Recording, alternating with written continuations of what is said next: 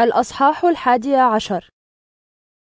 وكان يسوع يصلي في أحد الأماكن فلما أتم الصلاة قال له واحد من تلاميذه يا رب علمنا أن نصلي كما علم يوحنا تلاميذه. فقال لهم يسوع متى صليتم فقولوا أيها الآب ليتقدس اسمك ليأتي ملكوتك أعطنا خبزنا اليومي واغفر لنا خطايانا. لأننا نغفر لكل من يذنب إلينا. ولا تدخلنا في التجربة. ثم قال لهم يسوع من منكم له صديق ويذهب إليه في نصف الليل ويقول له يا صديقي أعرني ثلاثة أرغفة لأن لي صديقا جاءني من سفر ولا خبز عندي أقدم له. فيجيب صديقه من داخل البيت لا تزعجني الباب مقفل وأولادي معي في الفراش فلا أقدر أن أقوم لأعطيك. أقول لكم إن كان لا يقوم ويعطيه لأنه صديقه فهو يقوم ويعطيه كل ما يحتاج إليه لأنه لج في طلبه. لذلك أقول لكم اسألوا تنالوا اطلبوا تجدوا دقوا الباب يفتح لكم. فمن يسأل ينل ومن يطلب يجد ومن يدق الباب يفتح له. فأي أب منكم إذا طلب منه ابنه سمكة أعطاه بدل السمكة حية أو طلب منه بيضة أعطاه عقربا.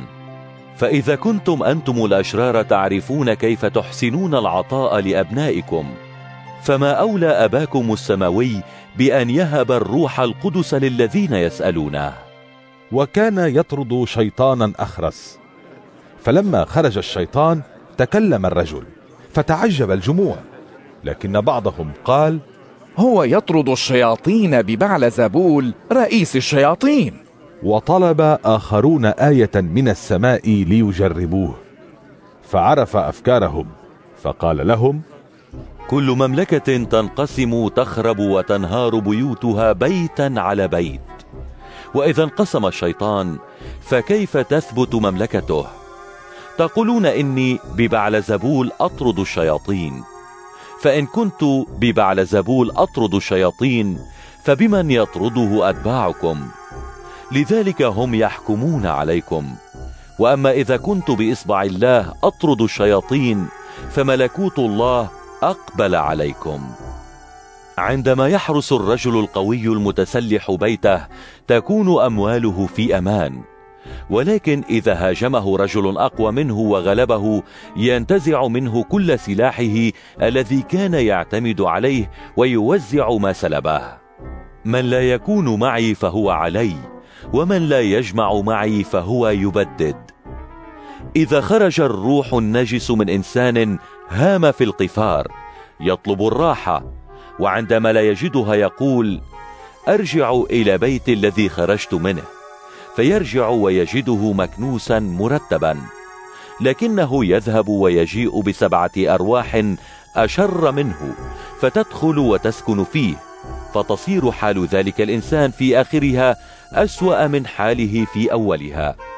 وبينما هو يتكلم رفعت امرأة من الجموع صوتها وقالت له هنيئا للمرأة التي ولدتك وأرضعتك. فقال يسوع بل هنيئا لمن يسمع كلام الله ويعمل به.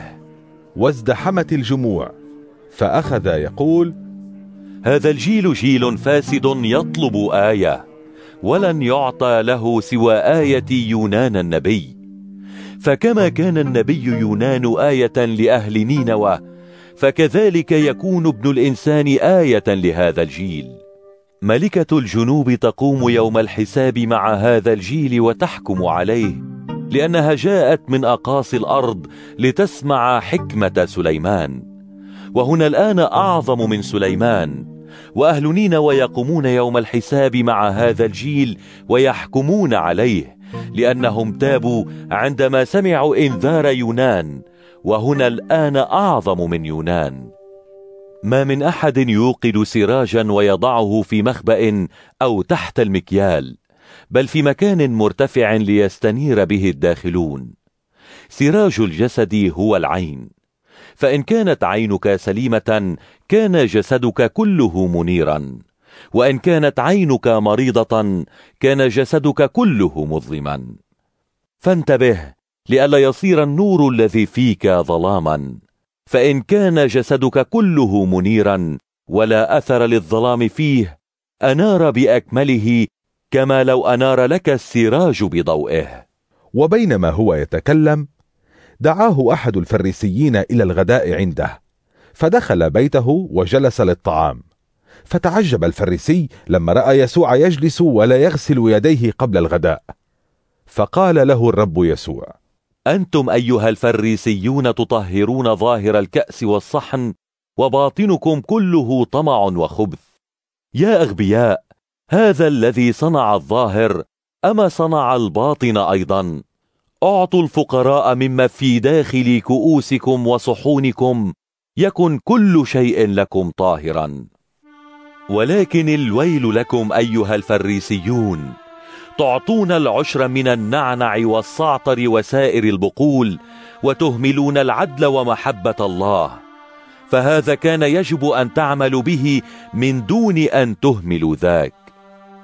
الويل لكم أيها الفريسيون تحبون مكان الصدارة في المجامع والتحيات في الساحات. الويل لكم أنتم مثل القبور المجهولة يمشي الناس عليها وهم لا يعرفون. فقال له أحد علماء الشريعة يا معلم بقولك هذا تشتمنا نحن أيضا. فقال الويل لكم أنتم أيضا يا علماء الشريعة. تحملون الناس أحمالا ثقيلة ولا تمدون إصبعا واحدة لتساعدوهم على حملها. الويل لكم تبنون قبور الأنبياء وآباؤكم هم الذين قتلوهم. وهكذا تشهدون على آبائكم وتوافقون على أعمالهم. هم قتلوا الأنبياء وأنتم تبنون لهم القبور. ولذلك قالت حكمة الله أرسلوا إليهم الأنبياء والرسل فيقتلون منهم ويضطهدون. حتى أحاسب هذا الجيل على دم جميع الأنبياء الذي سفك منذ إنشاء العالم. من دم هابيل إلى دم زكريا الذي قتل بين المذبح وبيت الله.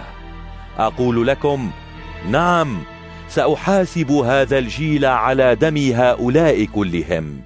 الويل لكم يا علماء الشريعة استوليتم على مفتاح المعرفة فلا أنتم دخلتم ولا تركتم الداخلين يدخلون. وبينما هو خارج من هناك ازدادت عليه نقمة علماء الشريعة والفريسيين فأخذوا يستنطقونه في أمور كثيرة ويترقبونه ليصطادوا من فمه كلمة يتهمونه بها.